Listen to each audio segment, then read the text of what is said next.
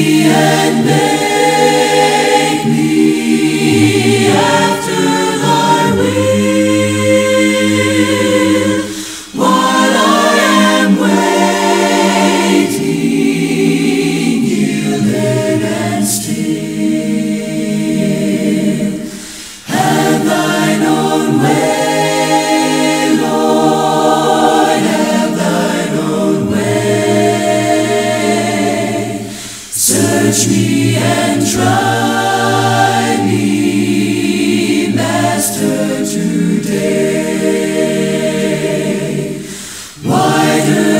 Since no,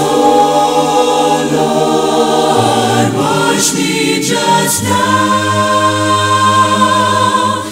as He